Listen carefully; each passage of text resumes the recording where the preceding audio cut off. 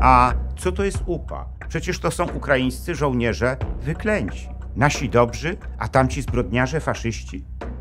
Te słowa zostały wypowiedziane w 2017 roku przez Adama Michnika w opublikowanej przez Sławomira Sierakowskiego, szefa lewicowego dziennika Krytyka Polityczna, rozmowie, gdy ten zapytał go o to, czy Jarosław Kaczyński dobrze robi, stawiając Poroszence ultimatum w sprawie UPA.